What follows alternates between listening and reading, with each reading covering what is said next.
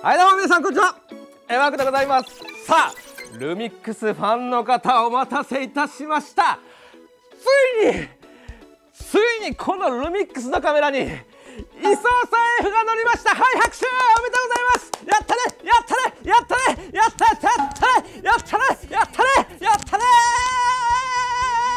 はいというわけでねちょっと取り乱してしまいましたけども、えー、ルミックスからですね S シリーズの最新機種として、えー、ルミックス S5 M2 がですね発表されました。はいこちらのカメラ。かっこいいでしょ？かっこいい。ここにね S5 M2 って書いてますけども。はいでこちらの機種にですね、えー、ついに、え、皆さんが待っていた位相差 AF というのが搭載されました。はい。というわけで、えー、今後ルミックスのカメラは、まあ、他のメーカーと同じ土俵に立って戦えるとついに戦えるという感じになったわけです。で、えー、これまでルミックスのカメラ絵作りはもう最高だったのに AF だけ AF のところだけがどうしてもね、えー、弱かったのがそこが位相差 AF が乗ったことによって誰もがね、え、簡単に使えるカメラになったと。いうところで今回はこちらのルミックスの SYM2 をですね、えー、レビューをしていきたいなというふうに思います。それでは早速行ってみましょう!イエイ!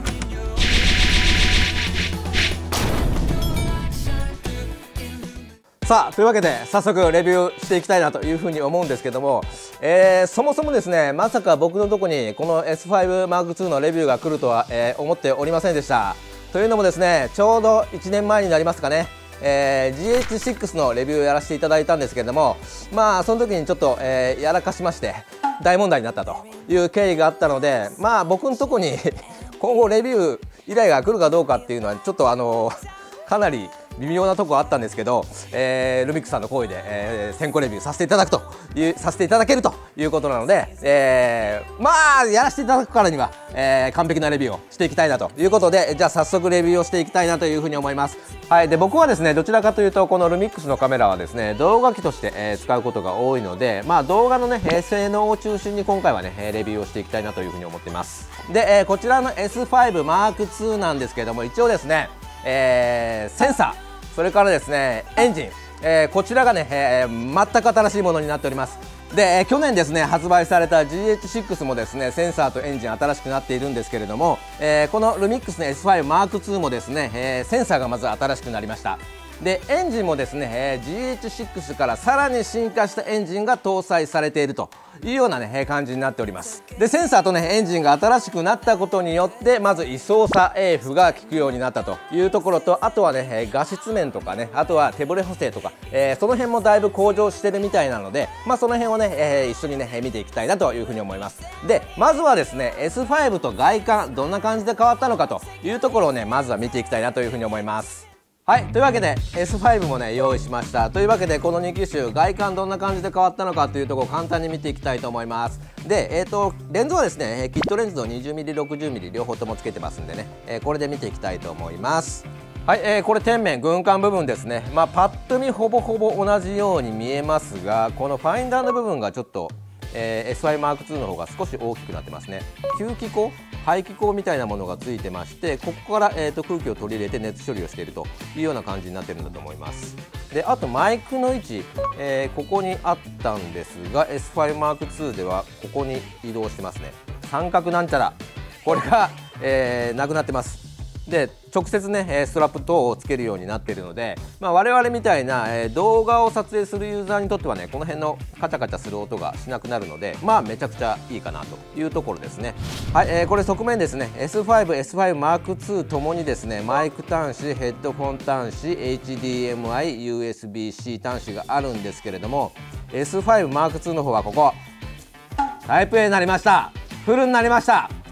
もうねここがねマイクロだとほんと使いづらいんですよ。なのでタイプ A になったということはめちゃめちゃありがたいです。はい、それからですね S5M2 の USB-C 端子なんですけどもこちらはですね PD の給電それからね、え、充電にも対応しているので、まあえー、給電をしながらね撮影するというようなこともねできるようになってます。はいこれ反対側の側面ですね、えー、S5 の方は、えーと、UHS1 と、えー、UHS2 の、えー、2スロットだったんですけれども、えー、S5M2 になりまして、えー、両方ともね、えー、UHS2 にね対応しました。はいこちら背面になりますね、えー、こちらはもうほとんど一緒のように見えますね。はい。で、えー、S5M2 もですねやはり、えー、バリアングルになってますね。はい。あとですね、えー、こちらの S5M2 ちょっとねグリップが深くなったような感じと親指の後ろのね親指のところがちょっと、えー、深くなったせいか、えー、グリップ感もねだいぶ良くなってるような気がしますね。はいそれではですね動画の性能の部分をちょっとねメニューを見ながら見ていきたいなというふうに思います。まずはね動画の画質の部分ですね。ちょっと見ていただきたいと思いますが、まず、えー、6K がね撮れるようになりました、それから、えーと、5.9K この辺も撮れますね。で 3.3K はい。それから、えー、これですね、えー、シネマ 4K の 60p、42210ビットロング GOP のやつが、えー、時間無制限で、えー、撮れるようになりました。はい、それからですね、えーと、シネマ 4K、それから 4K にですねこの 48p っていうのがね追加されてるんですね。でフレームレート 48p ということは、えー、最終出力が 24p の時に、まあ、スロー再生がね2分の1倍速できるというような感じになってます。はいそれからですね S5 にはなかったこちら、えー、デュアルネイティブ ISO 設定ということで、まあ、今自動切り替えになってますが、えー、低感度時高感度時でね、えー、手動で、えー、切り替えることができるようになってますはい、それからですね GH6 に入っていた機能この辺がねだいぶ追加になってます例えば、えこのフォーカスリミッターとかですよねであとはですねフォーカス時に、えエリアを選んでそれにプラスして、え人物認識をするというようなね、えこともできるようになってます。はい、それからですね、えこちらも GH6 同様4チャンネルの、え記録ができるというような感じになっておりまして、はいえー、こちらの XLR アダプターを作ることによって、まあ、4チャンネルの収録ができるんで、まあ、ちょっとつけてみましょうか、はい、これでね、えー、4チャンネルマイク入力それから XLR マウントアダプター設定をオンにすることで、まあ、4チャンネルの、ね、マイク入力をすることができるようになってます、はい、それからですね XLR マウントアダプターそれから、えー、外部マイク等をつけるとですね、えー、録音音質の方も、えーと、24ビットが、えー、取れるようになりました。確か S5 は16ビットだったんですけども、まあ、ここを使うと、え24ビットの 96kHz それから 48kHz というような、ね、高音質で収録が収録を、ね、することができるようになってます。はい、それから14プラスストップの、えー、Vlog ね、え、もちろん撮れるようになってるんですけども新しくね、はい、こちらリアルタイムラットという機能が追加になりましたこれ何かっていうと、えー、自分で作ったラット等をですね当てて、えー、その状態で撮影するということができます。要するに掛け取りみたいなことがねできるようになってるんですね。それちょっとやってみたいと思います。まずちょっとラットを選択しましょうということで、えーと、いくつかラット入れました。でちょっと分かりやすいように一番下暁っていう 僕のラットがあるんですけどこれかけると、まあ、こんな感じになるんですけどこれをかけたままえー、収録をするということができるようになってます。通常ラットっていうのは、えー、ログで撮影して後工程でね、えー、かけることが多いんですけども、えー、かけ取りをするという機能がね新しく入ってます。はいというわけでね、えー、外観と簡単な機能説明をさせていただきました。でここからはですね、えー、皆さんお待ちかね。位相差 F これがどんな感じに進化したのかっていうところですね実際に見ていただきたいと思います。はい、えー、本音のところを言うと最初別にそんなに期待はしていなかったんですけど実際ですねこの AF 使ってみるとかなりいいですね。はい、えー、俊敏にパッパパッパ合うし、えー、もともとね、えー、パナソニックのカメラ、えー、人体認識等の、え、認識機能はかなり優れているんですがまあ今までのカメラではですねその認識はしているんだけどそこに合わせてくれないっていうね、えー、ことがあったと思うんですけども、えー、この、えー、S5M2 の位相差 AF ではですねもう結構バッチリ合ってくれますね、え、迷うこともほぼないんですよね。で、え、これ見てもらったら分かると思うんですけども S5 の絵って合うのにやっぱり時間がかかるしあったとしても一瞬前後するんですよね、えー、そういうのが一切なくえー、常にピントが合っているような状態に、えー、なっているような気がします。はいえー、こうやってねだんだん近づいていったりですね離れていったりするようなシーンでも、えー、S5M2 の方は常にね被写体を追い続けてくれているというようなね印象を受けます。というわけでですねちょっと簡単に撮ってきた映像なのでこれが全てというわけではないと思うんですがこの後ちょっとね、えー、作例撮りの予定が入っているので、えー、それを撮ってからもう一度ね、えー、その辺の AF の性能みたいなところはしっかり見ていきたいと思うんですが現状僕が、えーと、使ってみて感じたのは、えかなり優秀な AF が載ってるんじゃないかなというふうに思います。はいそれからね、えー、手ブレ補正。こちらもね何やら、えー、だいぶ改善されているということなんですがなんか歩き取りをしながら撮ってもほぼブレないよみたいなことをね言われていたんで、えー、実際に歩き取りをしながらね、え、撮ってみました。で、え、S5 と、え、比べてみたんですけどもどうですかね？えー、結構ブレを抑えているんじゃないかなというふうに思います、えー、比べると結構違いますよね。はい。ただ、えー、途中ちょっとねカクカクという動きをするところもあるんですけれどもこれ走って撮ってるんでね、まあ、歩いて撮ってる分とかには多分このカクつきも多分そんなにないと思うので、えーと、手ブレ補正の部分も、えー、かなり優秀になっているんじゃないかなというふうに思います。まあ、ジンバルがね、えー、いらないとまではねちょっと言えませんが、えー、だいぶ手ブレ補正のところもね優秀になっているんじゃないかなと、え、撮影の幅がかなり広がってくるんじゃないかなというふうにね感じました。でこれね、えー、撮ってきて感じたんですけれども、えー、そもそも 6K からの多分オーバーサンプリングで 4K で撮影をしてきたんですが、えー、画質の方もですねなんとなく改造感それから色のり色のりみたいなところがね、えー、向上しているような気がします。これはもうちょっとね、えー、今度作例を取りに行くんでそこでもうちょっとちゃんとね、え見てみたいと思いますがちょっとねパッと取ってきた感じで言うと、えー、画質の方もね向上してるんじゃないかと位相差 AF を乗したからといって画質が落ちるというようなことはねないようにね思います。というわけで、えー、こちらの S5M2 を使ってですね作例そしてテスト撮影とがっつり使ってきたんで一応ね後日談ということで、まあ、ちょっとね感想を、えー、お話ししたいなというふうに思います。えー、まずね位相差 AF なんですけどやっぱりねすごくいいですね位相差 AF。はい、これまで撮れなかったようなシーン例えばジンバルに乗せて人物を追い続けるようなシーンとかで、えー、AF をあまり気にせずにね、えー、走り回れるっていうのはすごくいいなというふうに思いました。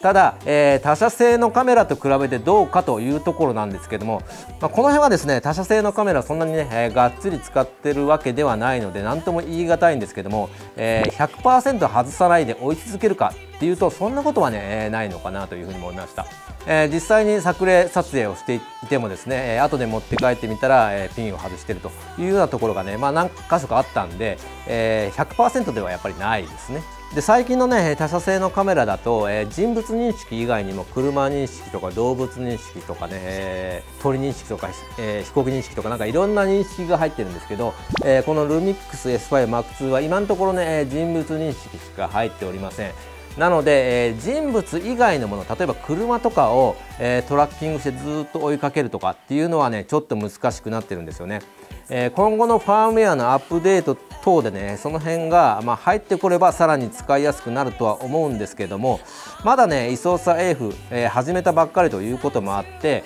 まあ、他社のカメラよりもちょっと一歩遅れてるかなというところは正直ねあるように感じました。それからですね AF のカスタム設定ですね、えー、正直ねこれまでのコントラスト AF のカスタム設定っていじってもそんなに大きく変わらなかったんですけれども、えー、今回の位相差 AF を積んだこの S5M2 ではですねカスタム設定を変えると、まあ、結構変わるんですよ挙動が。